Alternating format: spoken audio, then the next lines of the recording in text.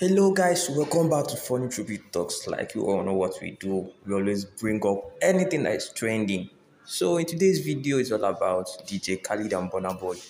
Okay, so let me tell you guys how it went down between DJ Khaled and Burna Boy. So DJ Khaled invited Burna Boy over to his house so that they will be able to record the song together. So Burna Boy came down to DJ Khaled's house for them to record the song. But before that, DJ Khaled already made something for themselves. That is some good seafood. And after they were done eating, they now went into the studio to go record the songs. And guess what? In the process of recording this song, Burna Boy actually taught DJ Khaled some African dance moves, that is some Afro dance moves. So let's just get straight to the video. But before that, please don't forget to give this video a thumbs up. And also, most importantly, don't forget to subscribe to this channel. I love you guys, still your boy, Chubby.